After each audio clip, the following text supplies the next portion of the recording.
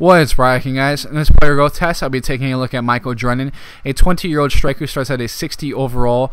Uh, just really is going to be a road to glory style striker, in my opinion. Of course, with that low overall rating at the start, you definitely could probably even you know even get him in the uh, you know League Two maybe uh, or League One as well. But a five foot ten striker slash right mid, left footed, high medium work rates, and three star weak foot and three star skill moves. Nice to see that high attacking work rate. His attack position isn't too bad at the moment, but does have some decent technical stats as well. Maybe some growth in his physical stats would really help a lot uh, here. But uh, decent player. It looks like he'd be turned into a very solid Road to Glory style striker as he would improve up to a 63 overall at the end of that first season.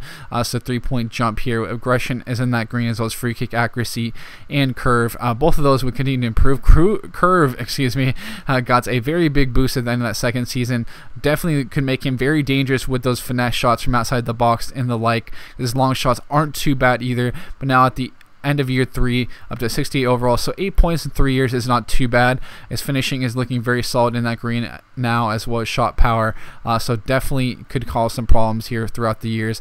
He already showed potential at the age of 26.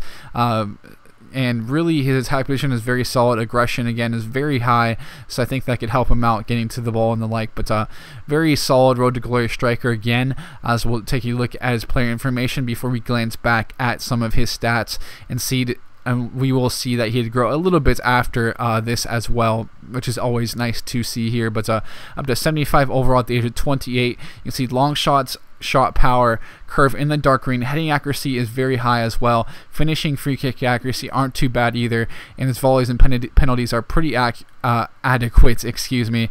And he would cap out at a 76 overall at the age of 30. See, some of his stats did begin to drop, of course, mental stats and the like. But either way, with all that dark green there, finishing again very solid uh, into that dark green now is his heading accuracy.